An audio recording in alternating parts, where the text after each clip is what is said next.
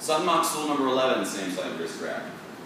For number 11, we're going to circle to the outside, grab the thumb at the, the pointer finger knuckle, bring the hand into our body, and then we've got a Z lock here. It's a straight arm Z lock, and we're going to bow, creating tension in the arm. One more time.